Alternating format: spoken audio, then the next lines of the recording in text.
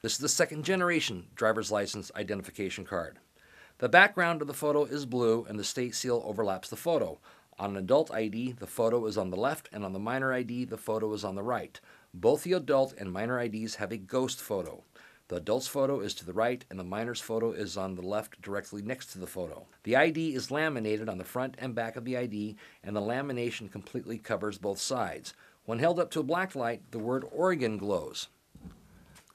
Oregon appears at the top of the card and is in blue on the driver's license. The Capitol building appears as a watermark under the data fields besides the photo. The year of birth is given in four digits. On an adult ID, the date of birth is just to the right of the photo with the expiration date on the left edge of the card right below where it says Oregon.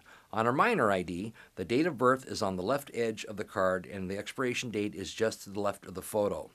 The words under 21 until and the words under 18 until dates are on the red border surrounding the photo.